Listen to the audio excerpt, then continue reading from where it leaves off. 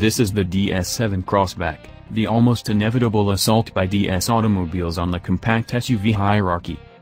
You might have seen its global dynamic debut in the news, because it was via a bespoke DS7 Crossback that French President Emmanuel Macron made his way to the Champs-Élysées during his inauguration. We too have experienced this car before, but not on UK soil. As a product of the luxury arm of PSA Group, comprising Peugeot and Citroën, along with DS itself, it's aimed more squarely at the likes of the Range Rover Evoque, Jaguar E-Pace and Audi Q3, rather than your Nissan Qashqais, Cee'T's, and Renault Kadjars. To help the 7 Crossback's cause, DS has shoehorned in so many features that it's difficult to know where to start. Alongside semi-autonomous driving programs, night vision and aesthetic elements intended to capture French savoir-faire both inside and out, the 7 Crossback is also the first among its peers to use active suspension.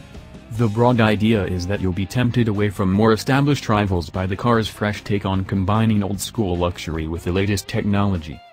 Alas, for all the Breguet-inspired detailing and swivel-eyed LED headlights, this is a familiar product that's built on the same modular platform as the Peugeot 3008 and offers front-wheel drive with a choice of PSA's existing turbocharged diesel and petrol engines. Furthermore, the assertion that the 7 Crossback possesses a unique personality lasts only as long as it takes to realize its general proportions, and particularly its deadpan front-end styling, closely mimic the Audi mentioned earlier. Is it handsome? In a square-jawed fashion, perhaps, but it relies heavily on jewelry in the form of three-dimensional LED lights and plenty of chrome, or gloss black if you go for mid-ranking performance line trim.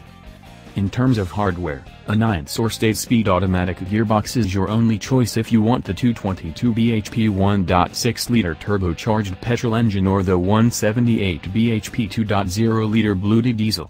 There's also a 6-speed manual available for the 128 bhp 1.5-liter diesel, and, during 2019, a 300 bhp plug-in hybrid with four-wheel drive and an asking price of around £50,000 will arrive.